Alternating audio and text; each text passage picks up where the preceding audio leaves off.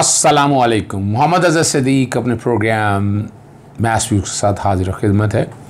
एक चीज़ की डिमांड और ख़ास तौर पर आम आदमियों से, फिर कुछ फार्मर से, और ये प्रोग्राम करने से पहले फिर मेरे कुछ जाने वाले जो मिल ओनर्स के करीब हैं, शुगर मिल, उनसे बात हुई। बड़ी तकलीफ़ और दिक्कत हुई कि इमरान ख़ान जो चाह रहा था कि निज़ाम ठीक हो जाए लेकिन लगता है कि माफिया उससे बहुत ताकतवर है। माफियाज बहुत ताकतवर हैं।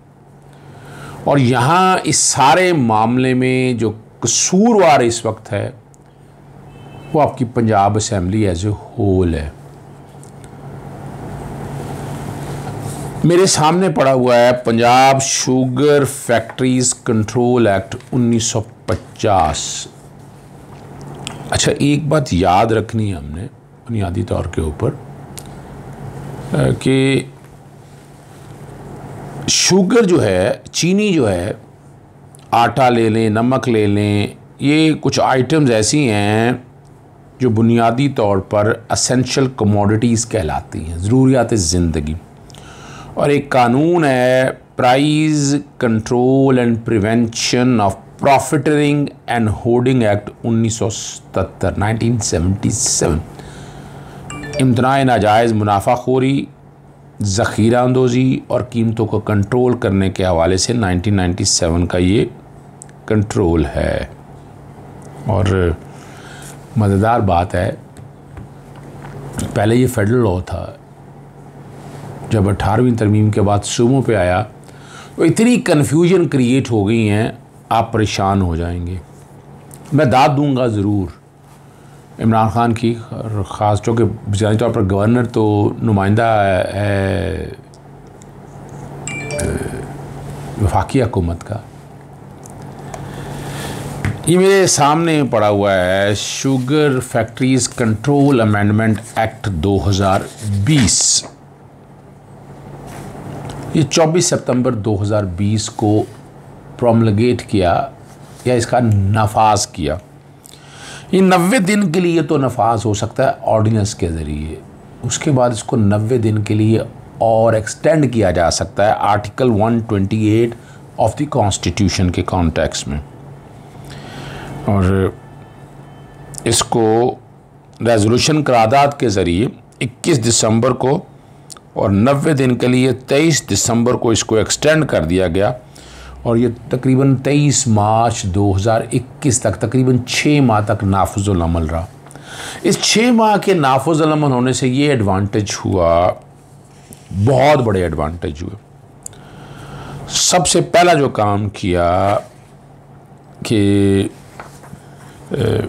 सेक्शन तीन और सब सेक्शन दो के अंदर तरमीम कर दी कि शुगर केन जो गन्ना जो है ना वो केन ग्रोर या के और और केन ग्रोर्स कोऑपरेटिव सोसाइटी सिर्फ़ सीपीआर के अगेंस्ट ख़रीदेगा।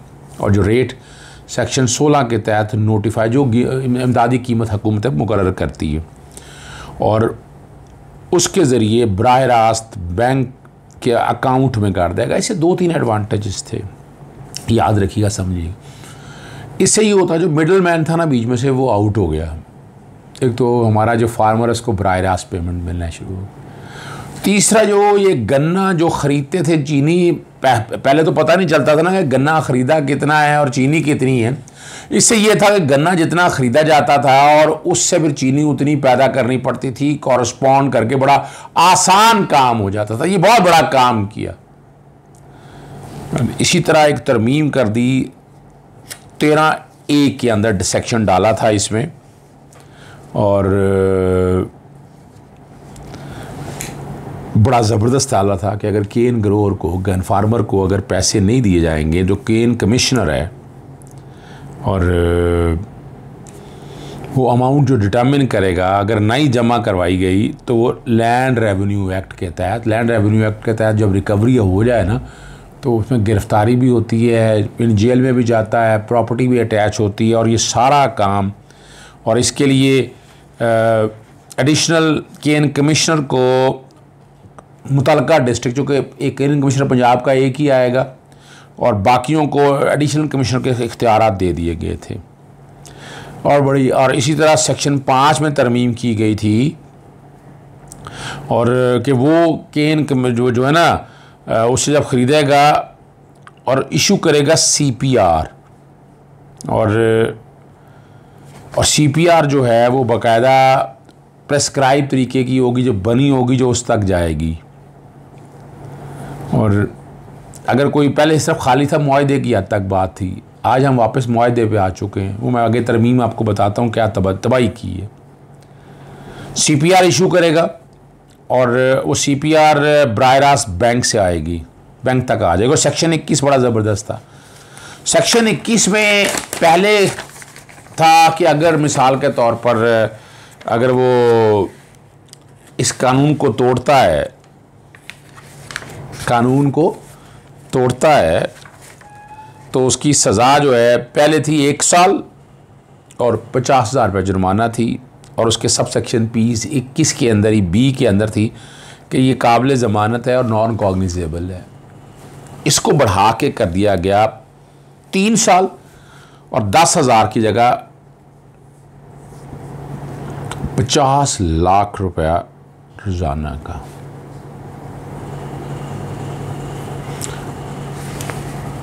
पचास लाख तक रोज़ाना है, कम अज़ कम दस लाख ज़रूर हो। और ये जो है ना, अगर दोबारा जुर्म करेगा तो फिर पचास लाख रुपया ही होगा।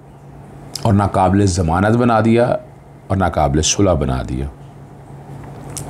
मैजिस्ट्रेट फ़र्स्ट क्लास की जगह तो मैजिस्ट्रेट फ़र्स्ट क्लास ख़त्म हो गई, मैजिस्ट्रेट सेक्शन थर्टी को इख्तियार दे दिया गया। ये जब ये सारा काम चल गया तो इसकी इतला जो कि, ये देखें ना, इन्होंने गेम कैसे चलाई, ये बुनियादी तौर पर याद रखिएगा, ये इख्तियार है ऑर्डिनेंस पास करना गवर्नर का।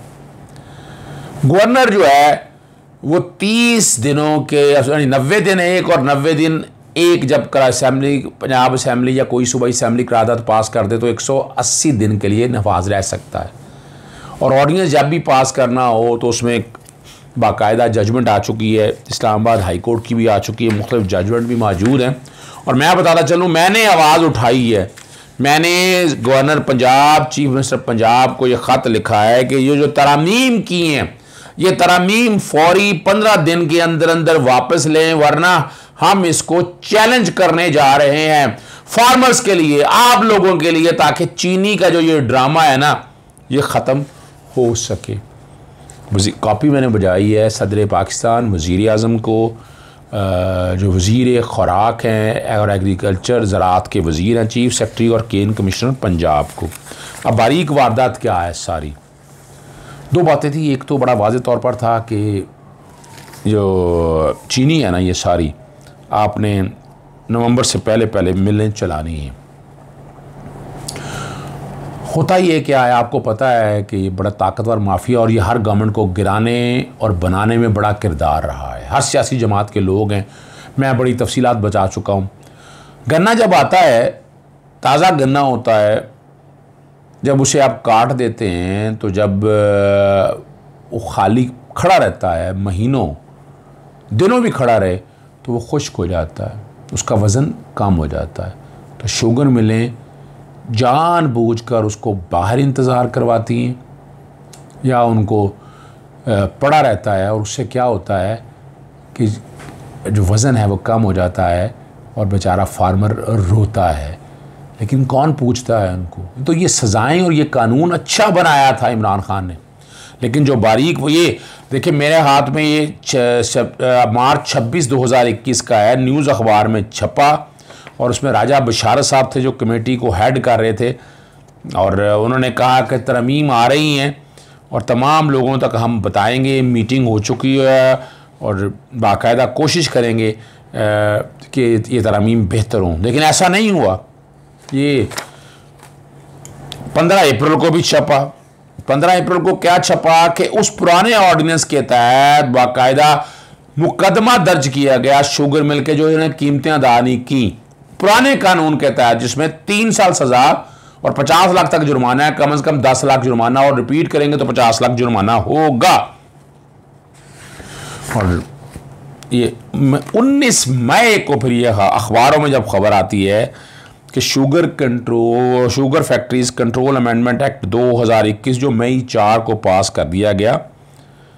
कमाल की बात है, वो एक्ट मैं नेट पे ढूंढता रह गया हूँ अवेलेबल नहीं है। ना पंजाब लॉ की साइट पे उसकी अमेंडमेंट अवेलेबल है। ये बड़ी मज़ेदार बात है आपके लिए।